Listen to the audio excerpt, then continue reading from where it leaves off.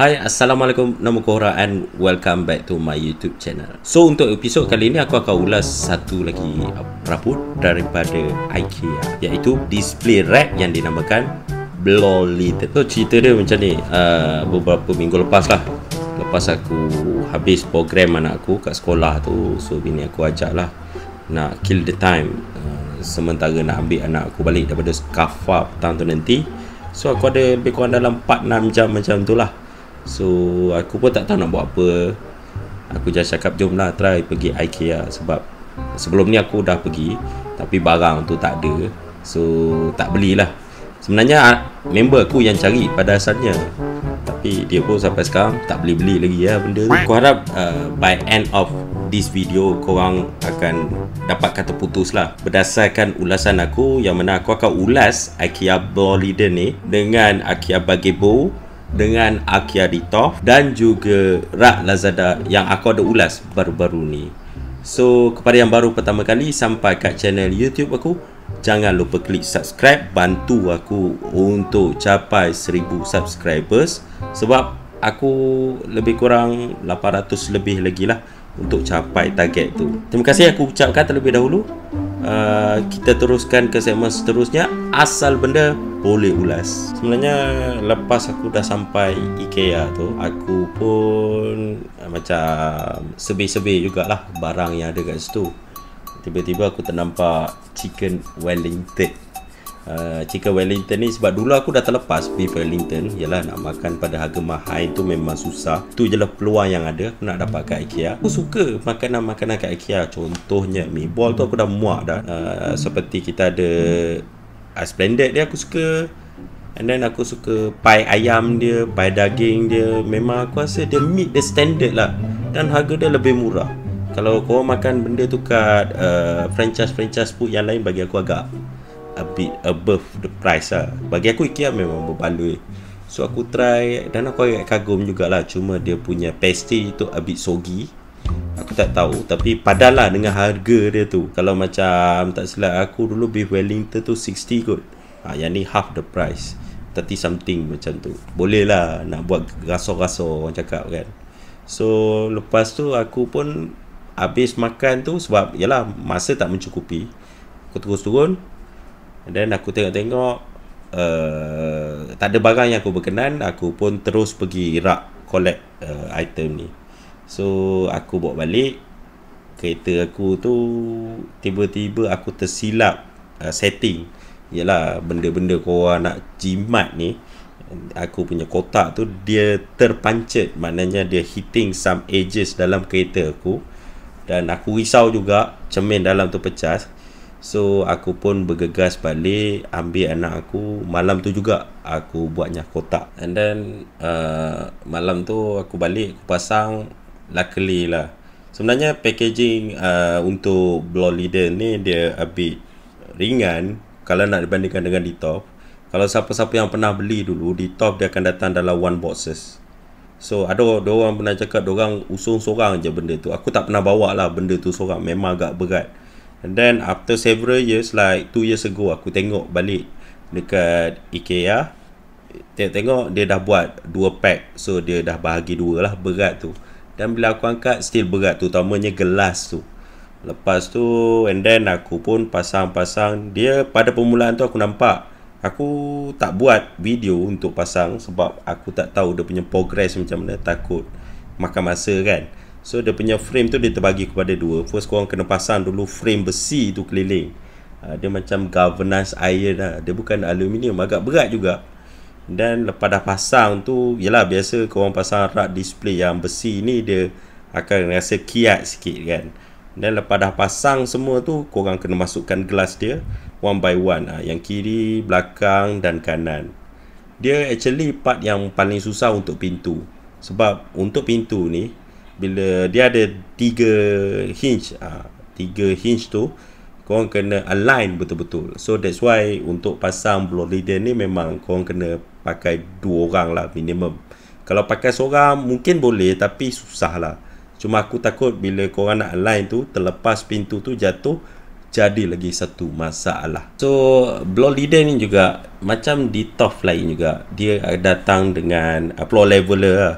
Dia kat kaki dia tu dia ada macam screw type yang tu kalau korang letak kat uh, permukaan yang tak berapa nak flat ataupun rata korang boleh guna benda tu supaya almari korang tak bergoyang. Uh, kalau tak memang akan always shaky lah. Sebab kita pun tak boleh nak cakap lantai kita semua flat kan? Dalam kotak radas dia pun dia ada sediakan dua Allen key berlainan size. Cuma tak, dia tak sediakan uh, screwdriver ataupun mata screw lah.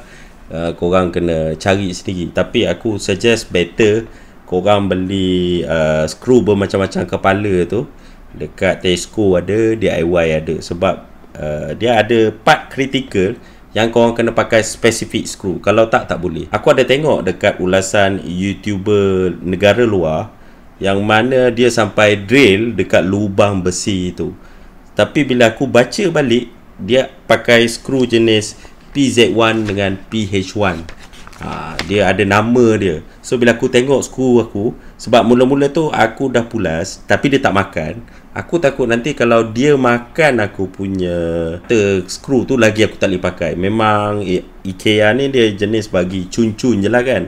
Bilangan screw tu. So lepas aku pakai screw yang betul, mata screw yang betul aku boleh assemble lah. So aku rasa benda ni tak perlu power tools pun. Uh, sebab aku tak berapa yakin untuk pasang rak ni pakai power tools disebabkan dia punya material glass tu lah. Aku cuba comparekan material glass tu dengan Ditov yang lama. Aku rasa glass dia a bit thinner ataupun nipis daripada glass Ditov yang sebelum ni. Untuk arrangement shaft tu, korang boleh, dia ada tujuh level. So korang boleh decide sebab korang ada extra tiga shaft punya glass tu, korang boleh decide uh, dia punya compartment tu uh, sebanyak mana yang korang rasa perlu lah. So korang boleh decide awal-awal untuk screw. Benda tu agak susah juga bila nak screw tu Sebabkan bila korang buat di atas permukaan yang tak berapa rata uh, Cermin tu akan memberikan masalah lah untuk masukkan slot tu. Dekat uh, slot tu juga dia datang dengan stiker bump. Macam yang sebelum ni di top dia datang dengan uh, macam roller bump tu kan. Roller bump tu over the time dia akan crack And then by end of the day korang punya di top tu akan menyentuhi permukaan besi. Tapi yang ni tak. Bila aku tengok dia dah datang macam orang orang letak bumper selalu kan dekat uh, stiker-stiker untuk kat pintu dekat kitchen cabinet untuk elak hentakan yang terlalu kuat dan menyebabkan kerosakan. So dia orang pakai bumper tu. Uh, so bumper yang sama jugalah dia orang pakai untuk letak dekat uh, chef arrangement tu. Untuk chassis dia juga dia datang macam hollow panel yang mana korang boleh guna uh, hollow panel tu untuk wiring lah. So in case korang nak nak display korang tu ada uh, lampu ataupun apa-apa lighting punya effect korang boleh gunakan hollow part tu untuk letak. Tapi aku tak pakai lagi so far sebab aku tengok dia menggunakan laluan yang sama dengan screw shaft tu so aku tak tahu sedalam mana. Adakah dengan uh, lubang screw tu nanti akan boleh terluka korang punya wire? Kalau sebab Yalah, shaft tu memang kau kena pakai skru kan. Kau tak boleh letak macam tu. Kalau tak, memang dia akan jatuh lah. Ini adalah aku punya konfigurasi yang mana aku buat konfigurasi yang berbeza. Uh, level 1, level 2 berbeza. Level ketiga dengan keempat sama. So, itu bergantung kepada kau punya preferences lah. Kalau kau rasa nak letak barang yang besar dekat atas pun boleh, dekat bawah pun boleh. So bergantung. Tapi kalau nak tanya dulu dia orang cakap uh, IKEA di Tof tu Diorang pernah beli dia punya chef extra tu. Tapi sampai sekarang aku tak tahu kat mana nak beli sebenarnya. Dia macam beli part jugalah. Tak tahulah kalau benda tu nak kena order ataupun tak. So ni lah verdict aku untuk tiga rak yang aku dah pasang uh, lately. Dari segi kapasiti dan keluasan Of course uh, di top yang lama tu memang terbaik lah Yang mana dia punya perimeter dia pun dah of course lebih besar. So yang first IKEA Ritov kedua Bloliden. Ketiga rak Lazada yang aku beli ni. Keempat Bagebo. Sebab Bagebo tu of course lah paling kecil. So kriteria kedua iaitu ruang display. Aku boleh cakapkan pertama masih lagi IKEA Ritov yang mana ruang display dia jauh lebih banyak dan dia punya permukaan yang terdedah pun lebih banyak. Maksud aku terdedah korang boleh tengok lah korang nak enjoy benda yang korang letak dalam tu.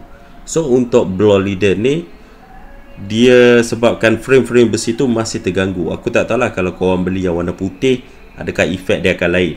So bezel untuk warna hitam ni still nampak obvious lah bagi aku. And then uh, ketiga adalah bagebo uh, keempat of course lah rak Lazada ni. Sebab aku rasa rak Lazada ni macam mungkin adakah efek dia pakai prospek membuatkan dia lebih kusam macam mana? Tapi itulah aku punya verdict pasal dia punya enjoyment kalau kau pakai rak-rak ni lah. And then yang ketiga berbalik kepada soal harga. Uh, mungkin dia agak subjektif.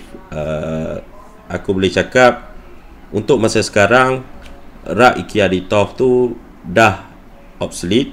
So EOL memang tak ada dah kita ada rak blow leader ni 300 rak Lazada tu lebih kurang dalam 200 setengah 240 macam tu. And then Bagebo tu 159 so rak ni aku rasa lebih berbaloi sebab macam rak Lazada tu dia nampak a bit cheap lah. Aku rasa macam memang kualiti dia tak padan dengan harga dia dengan kiat dia dengan tu semua.